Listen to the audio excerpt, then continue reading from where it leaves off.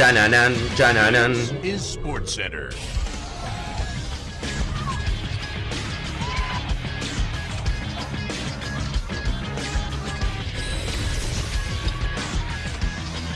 Hola gente, ¿cómo andan? Un saludo grande para todos, yo soy Sanio y les traigo un nuevo video. En el día de hoy vamos a estar hablando acerca de 7 fichajes que costaron menos de un millón de euros y que después esos jugadores se revalorizaron e inclusive en muchos casos se terminaron vendiendo por muchos pero muchos millones. Espero que les guste mucho la idea del video, que obviamente hay más casos, así que si llegamos por ejemplo a 3000 me gusta se puede hacer una segunda parte con otros 7 casos particulares de fichajes que como les digo costaron muy baratos y después se terminaron amortizando y en muchos casos se terminaron vendiendo por muchísimo más de lo que costaron. Síganme en las redes sociales, suscríbanse al canal activando la campanita. También tienen la posibilidad de suscribirse al canal secundario que es el de tenis y que ahora sí arrancamos con el video. Como sabrán muchos, hace años que OneFootball es sponsor oficial del canal y una de las mejores aplicaciones del mercado. Una aplicación en la cual vas a tener al alcance de tu mano todos los resultados, noticias y estadísticas, tanto de tus equipos favoritos como también de tu selección y de todas las ligas que quieras saber. Lo único que tenés que hacer para poder descargarla es entrar al link que vas a encontrar en la descripción. Es completamente gratuita tanto para iOS como para Android. Una vez que hagas clic ahí, la vas a poder descargar y disfrutar de todo el contenido que te puede ofrecer esta gran aplicación. Vamos a comenzar hablando del primer caso, el extremo argelino Riyad Mahrez. Futbolista que comenzó su carrera profesional en la cuarta división del fútbol francés jugando en el Quimper Kerferteun. Luego terminó fichando por el Le de la segunda división, donde jugaría 3 temporadas, 70 partidos, marcando 10 goles y dando 11 asistencias. Y en el año 2013-2014, el Leicester City, que en ese momento jugaba en la segunda división, decide apostar por él y pagar 500.000 euros por su ficha.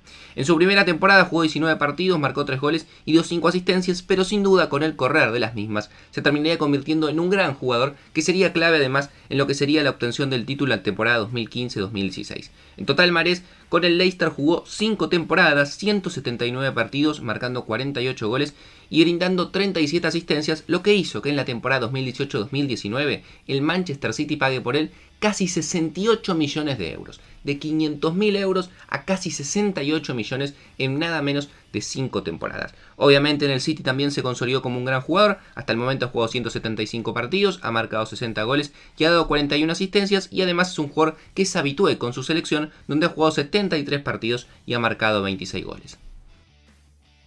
Sin duda un jugador que está atravesando un gran presente tanto con su selección, la Argentina, como también en su equipo es Lisandro Martínez, que tiene una historia particular. Es un futbolista que arranca su carrera jugando como volante, pero que también lo podía hacer en la defensa, jugando tanto en la saga central como en el lateral izquierdo. Que Newell's Old Boys, el equipo en el cual se forma, solamente juega un partido en la temporada 2016-2017 y lo terminan cediendo a Defensa y Justicia, un equipo que para el que no lo conozca es muy habitué terminar recibiendo jóvenes de otros equipos y potenciarlos. Después de una buena primera temporada donde juega 29 partidos y marca un gol, terminan comprando su ficha en cerca de 725 mil euros. Juega una temporada más con defensa donde también se termina de consolidar en la saga central y lo terminan vendiendo al Ajax en 7 millones de euros. Es decir, que en dos años duplicaron su inversión por 10. En el Ajax, para colmo, Lisandro se terminó de consolidar como un gran jugador polifuncional, como les digo, tanto en la mitad como también en la defensa, donde ha jugado hasta el momento 118 partidos, ha marcado 6 goles, es habitué de la selección argentina y según Transfer Market, que obviamente no es el valor absoluto, pero sí se puede tomar como una referencia, actualmente su valor de mercado ronda los 32 millones de euros. Próximo caso vamos a hablar ahora acerca de un gran futbolista y un gran goleador como el uruguayo Luis Suárez. Futbolista que arranca su carrera en Nacional en la temporada 2005-2006, donde tiene un muy buen arranque, juega 34 partidos y marca 12 goles, y de cara a la siguiente ya da el salto al fútbol europeo, en este caso al Groningen de los Países Bajos, que compra su ficha en 800.000 euros. Futbolista que una vez que llegó al Groningen se asentó en la temporada 2006-2007, jugaría 37 partidos marcando 15 goles. Después de esa temporada el Ajax se lo compra al Groningen a cambio de 7 millones y medio de euros. En el Ajax termina de explotar, 4 temporadas, 159 partidos, 111 goles. Lo compra el Liverpool casi 27 millones de euros. Cuatro temporadas ahí también, 133 partidos marcando 82 goles y sin duda la transferencia más importante de su carrera cuando llega al Barcelona que pagó casi 82 millones de euros. Tengamos en cuenta que cuando lo compró el Groningen, su primer equipo europeo, pagó 800 mil. En el Barcelona jugaría 6 temporadas, marcando 198 partidos, perdón, marcando 198 goles en 283 partidos. Además, un jugador que actualmente juega en el Atlético de Madrid y con su selección, la uruguaya, ha tenido muy buenos rendimientos, jugando 130 partidos y marcando 67 goles. Otro futbolista que sin duda está llamado a ser uno de los grandes delanteros y uno de los grandes jugadores de los próximos años es Erling Haaland. Sin embargo, en sus comienzos hubo un equipo que prácticamente lo regaló, que es el equipo en el cual debutó. Él comienza en el año 2016 jugando en la segunda división de Noruega, en un equipo que se llama el Birne FK. Allí juega 16 partidos, no logra marcar ningún gol y el Molde, un equipo mucho más importante dentro de su país, termina pagando por su pase 100.000 euros. 100.000 euros por el pase de Haaland. Juega allí dos temporadas, marca 20 goles, juega 50 partidos y después viene el Red Bull Salzburgo y lo compra por 8 millones de euros. Juega una temporada en Austria, 27 partidos, marcando 29 goles y lo termina comprando el Borussia Dortmund en 20 millones de euros. En el Borussia hasta el momento jugó 79 partidos y ha marcado 80 goles. Según Transfer Market, actualmente es el segundo jugador más caro del mundo en cuanto a valor y se le estima que su precio de mercado es de 150 millones de euros. Imagínense el equipo que hace unos 5 años lo vendió por 100.000 prácticamente regalado. Sin duda uno de los arqueros del momento también es el brasileño Ederson Moraes.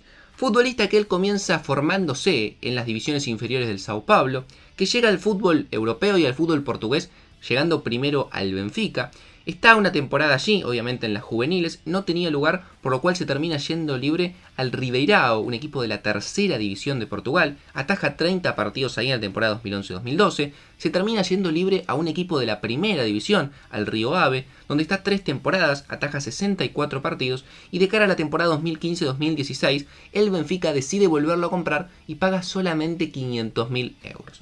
Su primera temporada no tuvo mucho lugar, en ese momento todavía estaba Jan Oblak, pero de cara a la siguiente, la 16-17, la verdad que tuvo mucho más continuidad y atajó 40 partidos. Después de esa última temporada, el Manchester City decidió pagarle al Benfica 40 millones de euros. En dos temporadas pasó de 500.000 a 40 millones de euros. En el City se ha consolidado, como les digo, como uno de los mejores arqueros del mundo, donde ha atajado ya 5 temporadas, un total de 226 partidos, y además es habitué, donde digamos que comparte el puesto o pelea el puesto en la selección brasileña con Allison, el arquero del Liverpool. Otro caso también de un futbolista brasileño que llegó al fútbol europeo prácticamente regalado y después se consolidó, con la particularidad que en el equipo en el cual se consolidó y además el equipo en el cual terminó ganando muchísimo valor es justamente el equipo en el que actualmente juega, es el caso de José María Jiménez. Josema arranca su carrera en Danubio, un equipo del fútbol uruguayo. Esto es en la temporada 2012-2013, donde juega 16 partidos. Con solamente esos 16 partidos y siendo obviamente un futbolista con eh, pasado en divisiones juveniles de Uruguay, el Atlético de Madrid decide comprar su ficha en 995.000 euros. Por 5.000 solamente entra en el video, pero bueno, está dentro de la consigna. Termina llegando el Atlético de Madrid, su primera temporada no tiene mucho lugar, pero ya en la segunda, de cara a los 2014-2015, tiene mucho más rodajes jugando 28 partidos marcando dos goles. Desde ese momento hasta la actualidad se consolidó como uno de los defensores prácticamente habitués siempre en la saga del equipo colchonero, ha jugado 241 partidos, ha marcado 9 goles y también se consolidó en la selección uruguaya donde ha jugado 75 partidos y marcado 8 goles. Su valor pasó de casi un millón, pero bueno, un poquito menos, a actualmente tener un valor de 65 millones de euros según Transfer Market.